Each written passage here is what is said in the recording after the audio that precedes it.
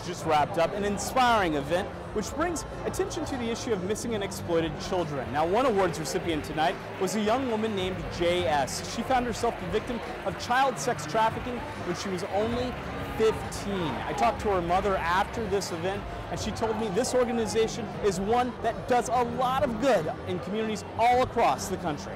When times are tough, I have a little prayer that I say to myself, and it goes, God be with the missing, save the exploited, and help our nation's missing and exploited children. For me, NCMEC has been an invaluable not only resource but support to my family. They were there from day one. Now here's another thing that was happening tonight. Many people were only wearing one sock. It was all part of the Rock One Sock campaign. That's to show support for missing children and their families.